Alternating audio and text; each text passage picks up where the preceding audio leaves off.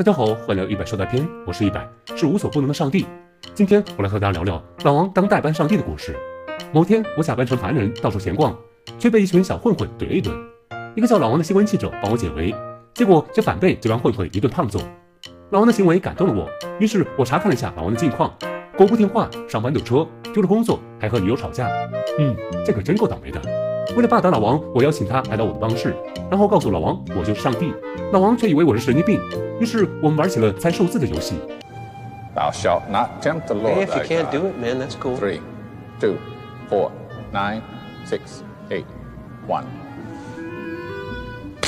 Okay. How many now? Seven. Ah! 我让老王代替我当几天上帝。老王一开始是拒绝的，但是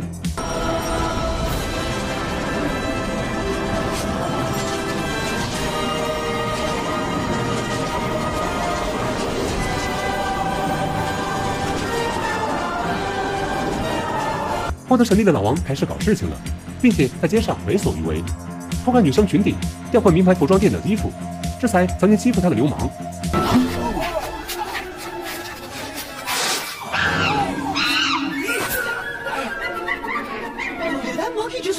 Crack, man? 为了讨翠花开心，改变了夜空。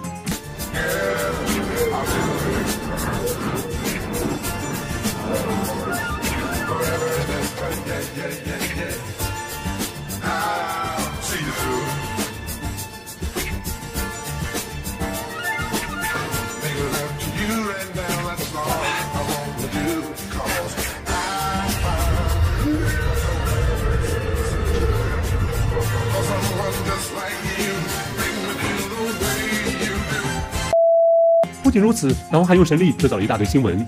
他让以前捉弄他的同事老白当众出丑，导致老白丢了工作，并趁机上位。很快，老王就成为了人人皆知的新闻名人。但上帝的工作可不光只有爽而已。我将老王拉到珠穆朗玛峰，告诫他要用神力去帮凡人们解决问题。没想到老王为了省事儿，居然用一键同意的方式来解决所有人的问题。终于，老王迎来了报应。他跟女同事不可描述之时，被翠花撞了个正着。于是，愤怒的翠花直接和老王掰了。我告诉老王，神是不能改变人的想法的。不信邪的老王试图用各种怪招来挽回翠花的心，可惜翠花就是不鸟他。而小镇也因为老王滥用神力，乱成了一锅粥。绝望的老王只能向我求助。我告诉老王，上帝的责任就是用心去帮助真正需要帮助的人。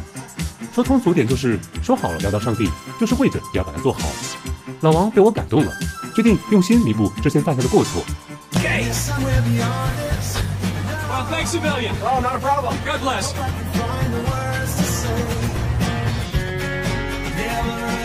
Bruce, give it. Bruce, take it away. You don't like it? Megabyte. 但老王始终没能挽回翠花的心。他在看到翠花的伤心模样后，崩溃地向我跪求帮助，看着还挺感人的。咦，哪来的卡车？最后，老王来天堂和我见面，我答应老王实现他最后一个愿望。老王说希望翠花找到真爱。这么鸡贼的愿望，我也是拿他没办法。我只好将老王复活，并送他回去和翠花过上不可描述的日子。